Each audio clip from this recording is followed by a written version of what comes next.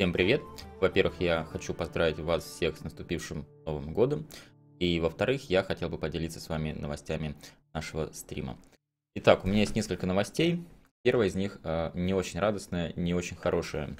Э, с 1 января 2017 года, то есть со вчерашнего дня, э, в России начал действовать закон, который многие знают как э, под названием э, налог на Google. Это закон, который обязывает иностранные IT-компании, которые работают на территории России а, с населением России уплачивать э, дополнительный налог, НДС, налог на добавленную стоимость а, в казну, который составляет 18%. Эм, раньше иностранные компании не платили, теперь будут платить.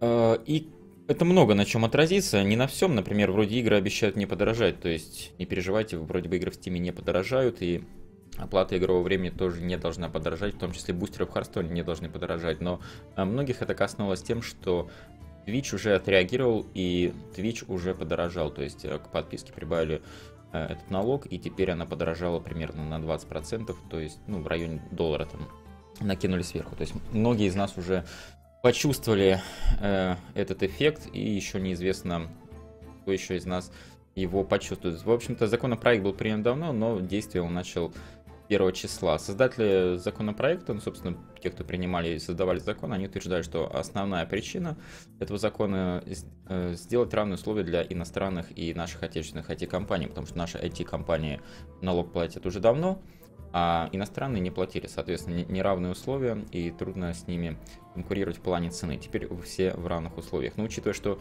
Twitch подорожал, я думаю, что в этом чувствуется рука Goodgame и SK2 TV, ребята, вот эти серые кардиналы законодательства, серые кардиналы Кремля, Good Game, SK2 TV. Ну, это наша первая не очень хорошая новость. К счастью, все остальные новости сплошь хорошие. Э, во-первых, э, со вчерашнего дня, с 1 января, я начал стримить не только на Twitch, но и на YouTube. Идет два параллельных топа, потока. Один идет на Twitch, один на YouTube. Многим из вас неудобно смотреть, вы многие мне писали, что и по времени что-то не подходит, и записи что-то не то. В общем, есть люди, которым неудобно смотреть на Твиче. Я, собственно, уже давно собирался делать, но руки не доходили. Но вот перед Новым годом я сел, все настроил, пока еще не совсем все идеально настроил, но уже нормальный поток есть.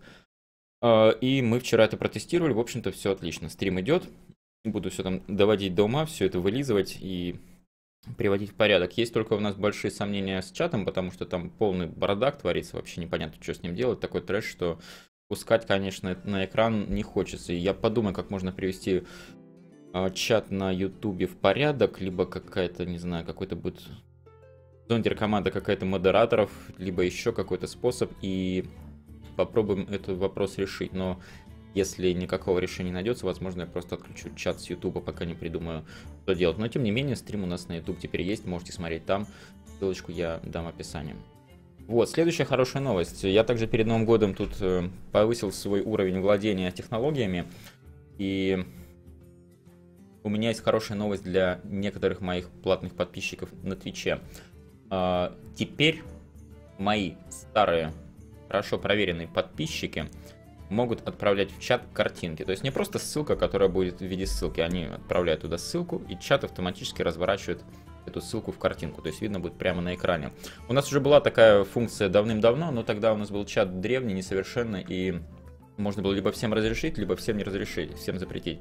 И когда я включал эту опцию, то начинался пор, тоже пол, полный трэш начинался, люди такое непотребство э, отправляли в чат, а по голове за это получал я, потому что у Твича есть определенные правила, и, соответственно, я должен следить за тем, чтобы контент этим правилам отвечал.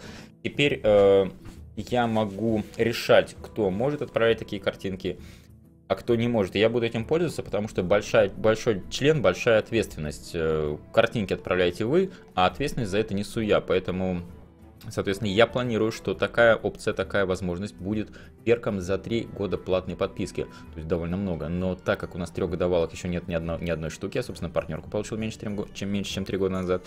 Поэтому я начну выдавать э, такие права с двух лет подписки, ну и каким-то отдельным особо проверенным моим зрителям, которым я могу полностью довериться. И, конечно, за нарушение правил, если будете линковать туда, не знаю, какую-то там порнуху или даже эротику, какую-то расчлененку или какой-то трэш, конечно, буду тут же права забирать обратно и все, и гуляйте. Вот, надеюсь, вам понравится, ребята, новая фишечка. И последняя, последняя хорошая новость на сегодня. Эм, не так давно я, да совсем недавно буквально, завершил розыгрыш. У меня был розыгрыш на портале StreamPub.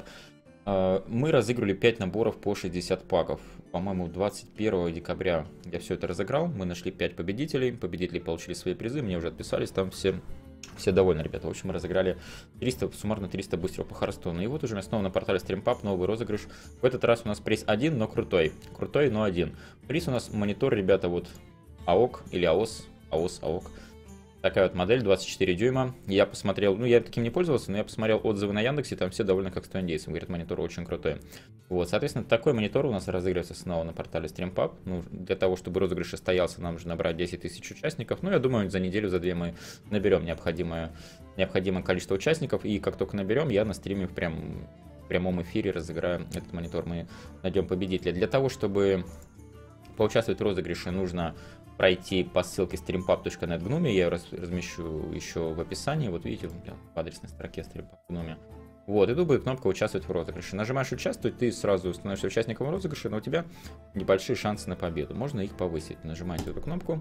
И тут есть система квестов. Система квестов, которая повышает наши шансы на победу. То есть подписаться на канал на ютубе, подписаться на твиче, перейти по ссылке, сделать репост, сделать репост в фейсбуке, вступить в группу, ребята. В общем, все это действия повышают ваши шансы на победу. Чем больше всего сделаете, тем, тем выше шансы на победу.